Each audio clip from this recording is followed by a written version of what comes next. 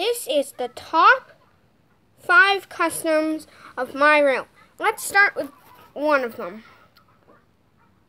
Bob. He's made from a, a, a Take-n-Play scruff, and I painted him green. Up next on the list, Henry. Well, you may seem this is a normal Henry, but this is a, a cool Henry. Just look at the shape of the tender.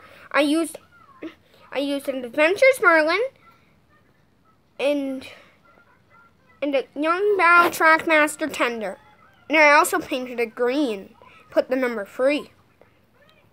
Up next is Joe. He's made from a take play Percy, and he has sort of a blue paint.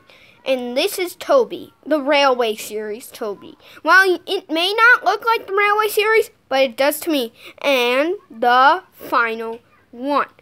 American Diesel. He's one of my custom characters. So, yeah, Squareface Engine Productions